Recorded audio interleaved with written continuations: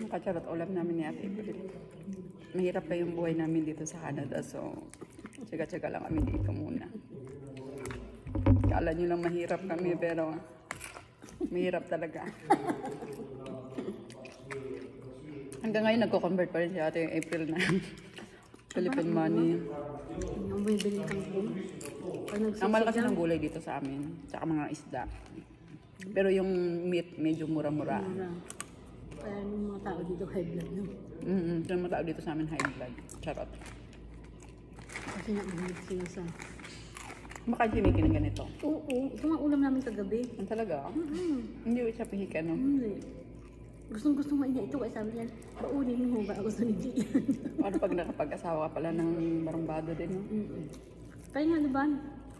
Ano kayang buhay natin ngayon? Eh, iniwan na natin pag barumbado.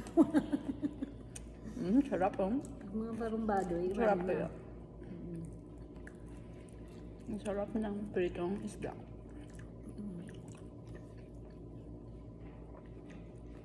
Kanina ulam ko sardinas saka itlog. Mm-mm. Sabi ko kay Sarap daddy, yun.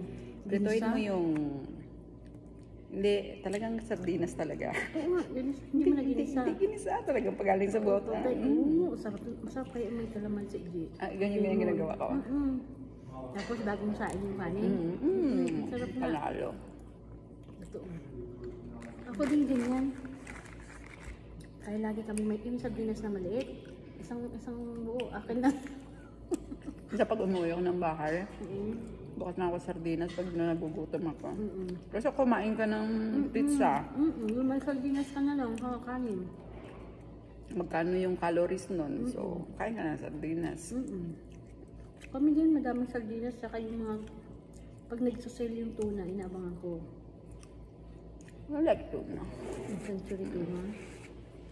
Minsan meron sa no frills, na on sale. Ang sarap.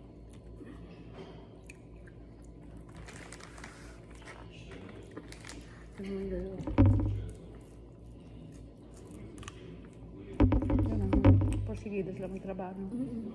Ang mabait sila. Hindi sila. Hindi naman duruga sa trabaho. Mm.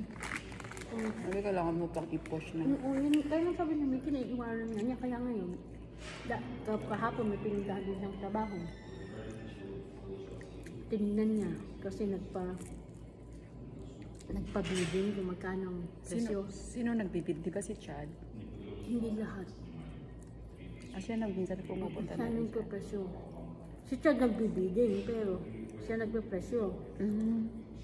Tapos So, pupuntahan kinukompute niya muna? Or kinukuha niya muna yung mga... Mm, kaya kailangan pinupuntahan niya. Para si Mickey ang nagpa-presyo. Alam niya muna kung gaano ka Kadami laki. Kung gano'n pa. Depende kung Kasi baka mamaya malugi siya, di ba? Oo, depende kung mahirap o hindi ng trabaho. Ganun po kung yan.